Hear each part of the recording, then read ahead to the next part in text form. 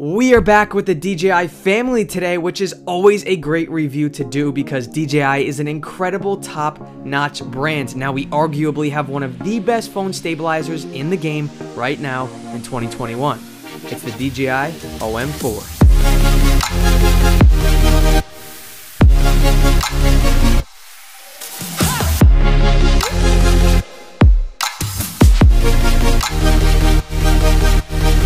What's up everybody? Welcome back to the channel Vibenik where we're doing tech and gadget reviews. If you're new here, welcome to the channel. My name's Nick Desjarlais and we just got over 200 subs. I can't thank you all enough, but now I gotta set a new goal to 500. So if you enjoy what you're seeing and you're not subscribed yet, feel free to smash that button to tag along for new videos every week.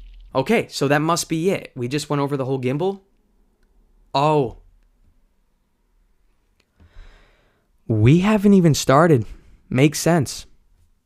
Let's go. Okay, so the OM4 is still DJI's newest smartphone stabilizer, coming in at $150 and weighing 390 grams. And there's a lot of upgrades and cool things to know. So for your stabilizer, it's a three-axis gimbal that has your pan motor, tilt motor, and roll motor for that full range of motion. And at the top, I am fired up about that new magnetic setup. Instead of having to clamp on your phone or screw it in like previous versions, you get a magnetic clamp to clamp on your phone or a magnetic ring holder to stick to the back of your phone. So, which one should you use? Well, first off, do not take that magnetic ring holder and stick it to the back of a phone case only because it's not meant for this and over a short amount of time they say it can start to peel and potentially fall off. Only stick this bare to the back of your phone. And they give you this plastic piece that lines everything up and lets you precisely fit it in the middle of your phone. And there are directions, make sure you follow them. You have to put down this first padding, then the sticky magnet on top of it, and then let it sit for so many hours. But once it's done and you're on the go, all you have to do is whip out your gimbal, toss the phone on, it magnetizes, then you turn on your gimbal and start recording. For me personally, I like my phone case. I will not take it off, so I just use the magnetic clamp. The only downfall there is, you know, every time you want to use your gimbal, you have to put it on, take it off, put it on, take it off, but it's so easy, it's really not that big of an issue. And you're probably skeptical on this whole new magnetic feature, one, because it's new, and two, because it's a magnet. Can you really trust it? Well, having this in person, yes, this magnet is super strong. I took both of them, and when they came close together, they shot towards each other and were glued. And even when you try to pull it apart, it can be a little difficult. Maybe a year from now, it'll get weaker. I doubt it, but if you're doing something high action or running around, you should be completely fine. The only downfall would be if you had your clamp on, maybe the phone would fall out, but that's it. So the magnet is super strong and the motor is much stronger than the past series, so that means it can hold up much more weight, up to 290 grams. If you have the iPhone 7 up to the iPhone 12, you're good. And I've heard some rumors saying the iPhone 12 is not compatible, but it is. Even if you have the iPhone 12 Pro Max, which is giant, it still works. If you have a case on it, the clamps won't wrap around, but if you just have the phone itself, you should be good to go. Also, it is compatible with a list of other phones, way too many to name, so pause the video and take a look at what there is. It comes in one color, a light gray. It has an amazing comfortable handle with a panel of buttons, and in the top left, you have your LED light indicator to show where your battery level is at. Below that, you have your joystick, and you can actually change the speeds from slow, medium to fast which is in the Mimo app, and we'll get to that app in just a little bit. Next to that is your shutter and record button, and if you're in photo mode, you can actually hold this down and get burst shooting, which takes a bunch of photos at once. So if you're trying to get a picture of something that's high action, this will be the way to go. And then below that is your M button, which does a list of things. Press once to check your battery on the LED light indicator, then press and hold till it beeps once to power on. Now that it's on, there's a lot more things you can do. Press once to switch between photo and video mode, press twice to go from landscape to portrait mode, then press and hold till it beeps so the motor shut down and it goes into standby mode. Now, this is one way to go into standby mode. The other one is if you're done with your footage or whatever you're doing, take the magnets and detach them and it automatically goes into it. I'm super happy about this. It's awesome because a handful of months ago, I did a review on the SmoothX gimbal. And when I would detach the phone off the gimbal, it wouldn't know how to, you know, handle that shift in weight. It would freak out and looked like it was about to break. So this is definitely one of the highlights in this gimbal. Then press and hold till it beeps twice to turn it off, fold it up and put it in the bag that they give you. It's not going to protect anything, but at least it keeps it all together. And you can buy the more expensive packages, which are like $50 more or even more than that, that can get you the nice cases. But if you just want to buy this for $150, then buy a nice case separately for about 20 bucks then link is below if you want to go check that out. Okay, moving on, you have your zoom slider on the left, which pretty much just lets you zoom in and out on the camera to make things easier so you don't have to do it right on the phone. Then coming around the back, you have your trigger button, which again does a list of things. So let's jump into it. So press and hold to go into lock mode, which pretty much locks your gimbal and keeps everything in a forward direction. And as soon as you want to get out of lock mode, just release the trigger. Press once for Active Track 3.0 and active tracking is awesome, but the way the OM4 does it is so much better. You don't have to draw out that green square anymore and find something to connect to.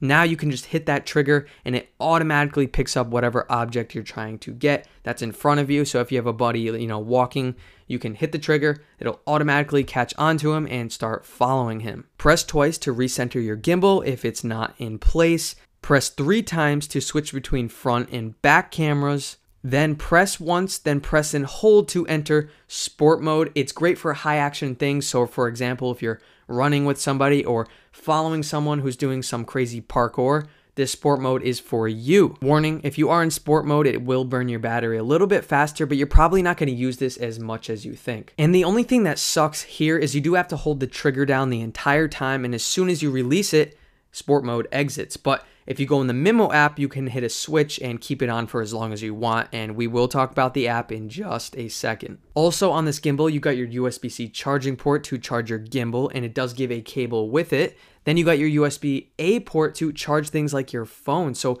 if you have a cable for your phone, you can plug it in and be good. So if you're on 1%, you got no outlet around, but you've got your gimbal, it's to take care of you. It comes with a tripod stand and attaches to the bottom, twist on to the 1 4th inch to 20 UNC port. I think I said that right. If I didn't, let me know below. But yeah, twist on. And the cool thing is, is if you have other tripods that are the same as this threaded size, you can attach it, which means you'll have a much longer reach to get super cool footage. All right, let's jump into the Mimo app that pretty much lets you do it all. Let's go. If you've never gotten this app, download it, make an account, connect your Bluetooth, and then answer whatever questions they may ask you, and this will be your camera setup. To mess with different follow modes that give you all these different kinds of motions, hit the three dots over here, then hit the camera with the line above, hit follow, and now there's four different modes. It's kind of a pain. I wish there was a button on the gimbal to access this easily, kind of like the DJI Pocket 2 has, but it's not the case. It's fine. I guess we'll live. In follow mode, you can pan and tilt, and it will follow your movements with a slight delay. This delay kind of gives a smoother look when panning left and right and tilting up and down. If it was quick to turn, the footage would be all over the place. You cannot roll it. When you try to do it, the camera stays in one place. So this is an awesome mode. I probably will use this most of the time coming up in the future, but let's get to the rest of them. Onto tilt mode, it keeps the camera on the horizon and only moves when you pan it. For the rest, the camera stays perfectly still. So get creative with this. Maybe if you want to move in on an object and keep everything still, you could use this one. Third one is FPV mode, meaning first person view. It moves in all range of motion, putting you in the action. It's very fun to use, letting you dip up and down, swaying and turning, kind of like you're flying. And the last one, which is kind of new, is spin shot mode. It's super cool. You can get awesome shots while spinning your camera sideways and upside down. And in my intro, you probably noticed I used that. There's something about it that's very intriguing. And when I see these types of shots, I notice my head kind of turning with it. All right, continuing on, up top is your home button to exit out. You have your battery percentage of gimbal and phone's battery percentage to just see where you are. Coming down next to that is your auto and manual button to fix ISO, shutter, and EV. iPhones will get all of these options, but apparently on the Android, it's limited. I don't have an Android, so I don't know how limited it is, but you will not get as much as the iPhone. Same thing with the resolution and frames per second. iPhones will get 4K, 60 FPS, but Androids will only get maybe 4K and they don't get to choose their frames per second. Next to that is glamour effects where you can change the shape of your face and tone it to make it look better.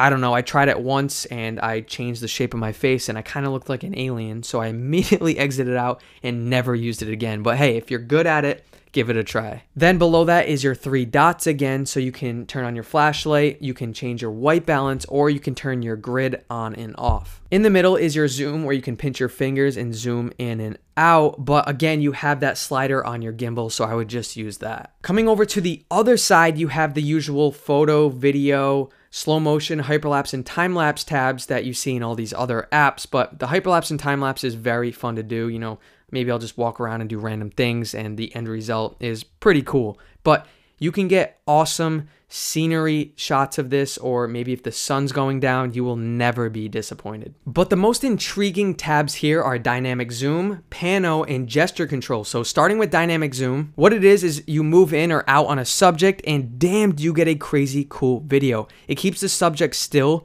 like they're the same distance, but the background will be the only one moving. I've seen it before, but really never knew how it was done, and most of the time you're supposed to do it manually, but the great feature on this one is it's done automatically, so all you have to do is lock onto something, move forward or backwards, and it takes care of it for you. The next one is Pano, where you can do a 3x3 panoramic shot, which gets a nice wide angle shot. Then you can do a 240 degree panoramic shot, which is even bigger. And then there is Clone Me. Clone Me is the same as the 3x3 pano, it just counts down before each of the three shots it takes, letting you be in all the shots. And this is the end result. It's super trippy and really fun to mess around with. And then the third one is gesture control. So what you can do is hold up your palm or do a peace sign and it will start counting down to take a photo or video. It's just another easy way to do things. You do have the option to turn this on and off in the app just in case you know it starts triggering without you wanting it to. But those were the three I found the most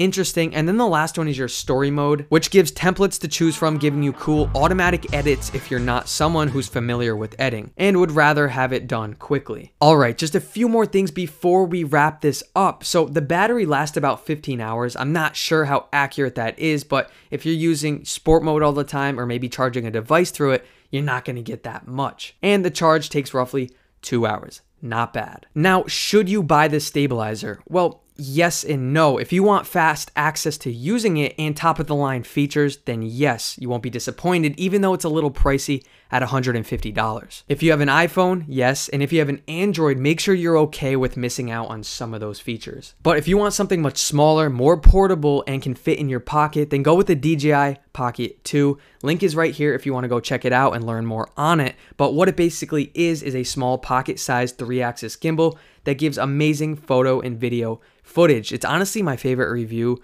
of a gimbal I think I've ever done, even though the OM4 is absolutely amazing. But both are fantastic. I love them both. Links are below. If you're still watching and enjoyed, smash that subscribe and like button for new videos coming all the time. I appreciate you for watching. You're the best, and I'll see you in the next one. Peace.